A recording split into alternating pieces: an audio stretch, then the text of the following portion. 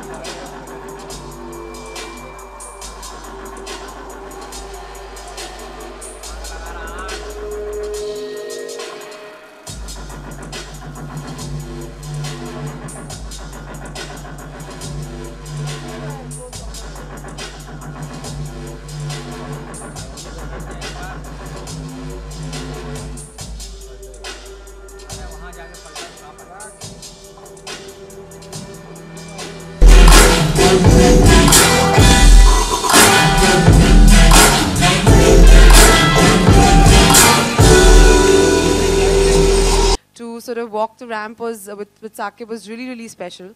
And, uh, you know, her clothes are very easy to wear. Uh, they're very, like what she, how she likes to say, ki koi bhi pehen sakta hai, whatever age, whatever sex, whatever uh, gender. So I feel she's sasta, tikao, acha brand hai, aap ek kharide, puri family pehen sakti hai. So, you know, in that sense, uh, she's quite a middle-class Indian girl.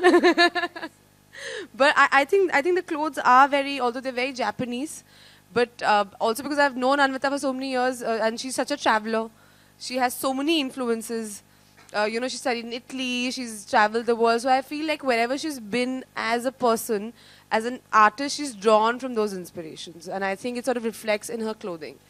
So, yeah, I love it. Challenging is to walk the ramp, yeah, to be really honest. Uh, Salman Bhai is the easiest guy to work with, and I've had a great time working with him. Uh, you know, I was a model before I became an actor. So I, I when I got back uh, backstage, the hustle bustle, uh, mod- models running to change into their clothes, I've been a part of that, and it's really nerve wracking. And uh, I was little, to be really honest, you know, right before you get on the ramp, there's a slight nervousness. But once you get on the ramp, it's all you, and that's what I did. I just walked down, looked at people I knew, smiled, winked, came back, and then I had these two lovely girls for company.